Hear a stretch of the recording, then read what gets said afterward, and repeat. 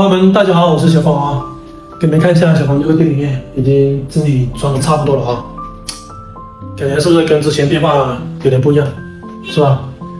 呃，今天有一件事情跟大家说一下啊，呃，因为今天是我老爸的生日，呃，要晚点的话，我跟我弟然后带我爸我妈去逛一下，去走走啊，因为他过生日的话，这次我们就比较特别一点，带他出去走走，去吃点东西。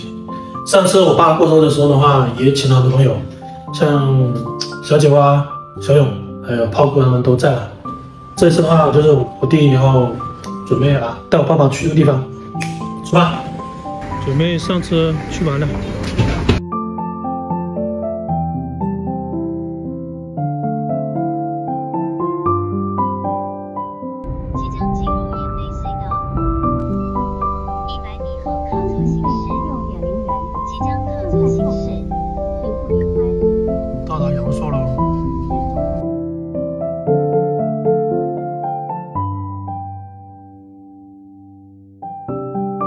现在终于到了阳朔了啊！刚才我们坐了四十分钟的车以后，到了这边。到阳朔天气有点晚了，然后跟我弟，然后带上我爸妈来阳朔走走。很久没有一家人出来逛逛了。